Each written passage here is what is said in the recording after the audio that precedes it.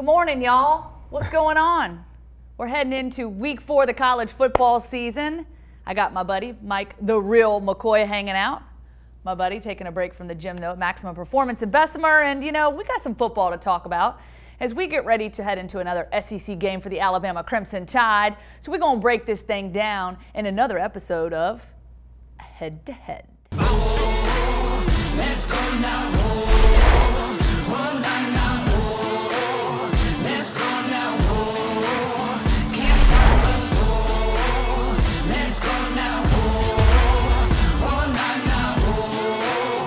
All right, before we break this thing down, I want to give a shout out to our sponsors, the Alabama Cattlemen's Association, because beef, it's what's for dinner. So, Mike, are you a, are you a big beef eater? I am. You know, I'm a country boy. We hunt, do it all. Um, but typically, once a year, we, uh, me and my family, we get a big cow and we split it up.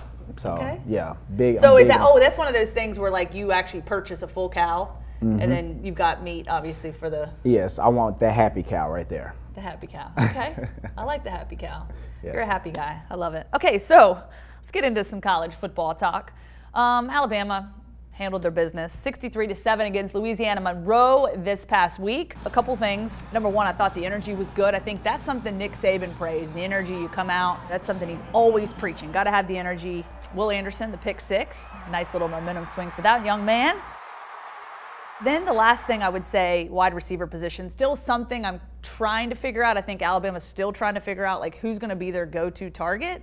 Do you have any thoughts about that? Like who is kind of standing out to you that you're like, ah, I think this, I think there's some glimmer here. I think there's some hope. No, Gibbs probably the most explosive for me as far as offense is concerned. I feel like the play call was still kind of basic, so I don't feel like we played a complete game yet. Hey guys, it's ULM, so nobody's gonna rant and rave about it. So from my end, I still think they got some proving to do. And you talk about sort of the three phases of the game. One thing you can highlight though is how about special teams, man? They did. Now, They played extremely well. Um, I'm confident in that aspect, but still a little shaky about the secondary. Um, glad Will had a had a better game. I mean, but that's expected when you're going to probably get drafted high as he's going to get drafted. So, hey, just don't mess it up. Don't do nothing more. Don't do nothing less. Just be Will. Be will. be will. Uh, Kool-Aid McKinstry had 136 yards on five returns in the uh, return game. That was pretty, pretty impressive to see. Um, I think another little bit of area concern, the offensive line. I think that is something that's showing a little bit of shakiness, A lot of shakiness. a lot of shakiness. Tell them like it. a lot of shakiness. Um, you know, that's kind of been the concern for them. And I think one person that a lot of people are high on that they've been talking about, that freshman, the Yes. off- freshman offensive line, Ty- Tyler Booker. Um, you know, so I think that he is a bright spot and someone that is making an early impact. Uh, so I think the offensive line has a ways to go. Obviously, against Louisiana Monroe, you get 242 rushing yards. I mean, not a bad day. But it is Louisiana Monroe.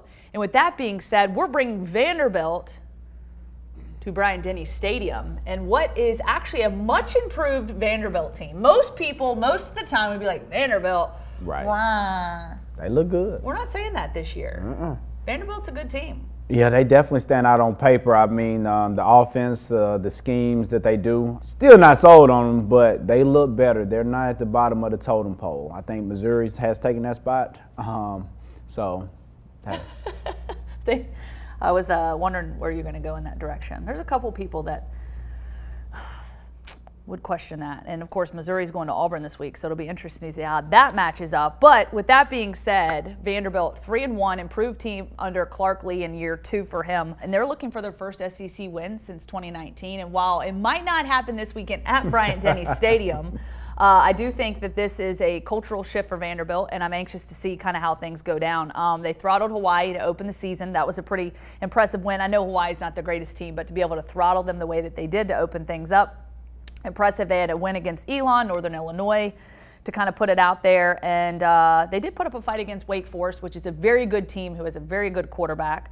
And so impressive there. So my question for you, we got a two quarterback system. You've got Mike Wright, who is essentially the dual threat quarterback. Mm-hmm. and then you got AJ Swann, who is that prototypical quarterback. So your thoughts on how do you defend against a two quarterback system? Does this work in Vanderbilt's favor, or is Alabama, you know, coming in with a different mindset? Believe it or not, I think anytime you have a two quarterback system, I think that goes against um, that's a a team's disadvantage, that particular team, because I don't think you have defined who is that guy. Mm-hmm. And as a receiver or a running back, you get used to certain handoffs, certain cues, the ball placement. Um, there's a lot of factor that goes into it, even blocking up front.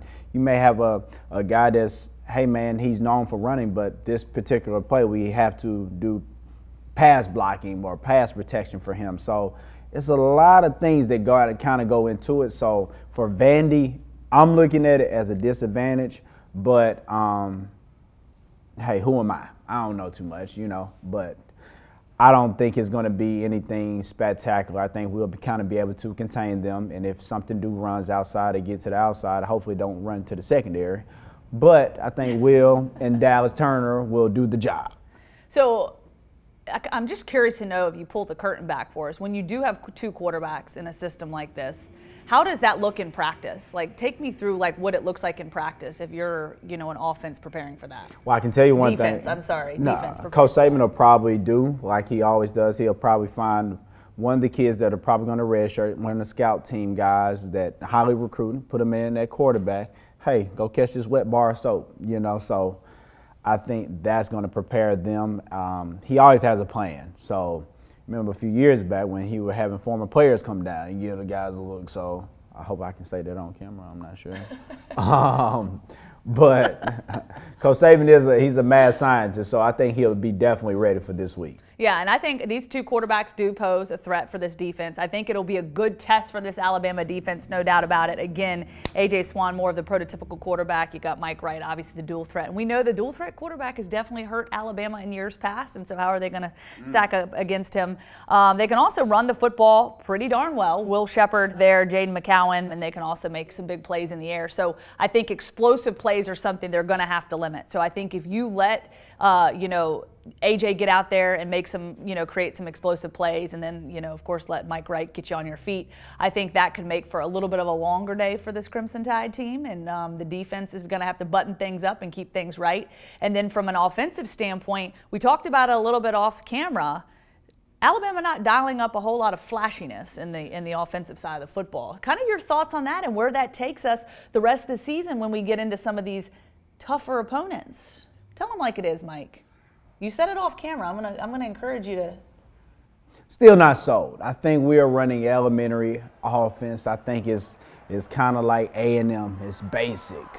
We have exceeded the times. It's a spread offense now. Let's let's add a thing out. Let's run some combo routes. Can we see some double moves? Can I see you take the top off? I mean, goodness, it's like watching cold paint dry. There's no creative from from what I'm seeing. And I feel that you have the kind of caliber players on the outside and in the backfield that can get it done. There's no reason why Alabama should not have at least 400 average yards per game, total offense. So, hey, hey, O'Brien, hey man, give me a call. I got a couple things drawn up. You know, I got some old plays that I can show you. You know, give me a call, man. No harm, no foul. I still love you. All right. So, what's your prediction, my man? Mm, prediction. I know Bama's going to at least get 42. Give me, uh, I'm going to take 48 10. All right. 48 10. We aren't, we aren't too far off there. Nah. I got Alabama 52 to 20. 20. Come on. I'm going to give Vandy 20, y'all. And that's just because I think that this Vanderbilt team is much improved. As we talked about, the dual th- the, the the dual threat quarterback, and obviously you've got the the two quarterback system. Not sure what they're going to do. I think that they can hang. I think they can hang a couple touchdowns on Alabama, potentially. Maybe get a, a, a passing touchdown, a run touchdown in there, a couple field goals. 52 to 20. I don't know. I might be speaking get, out of turn. This her NIL deal. They get 20. I buy her and her husband a meal. All right. Brought to you by Alabama Beef Farmers and Ranchers.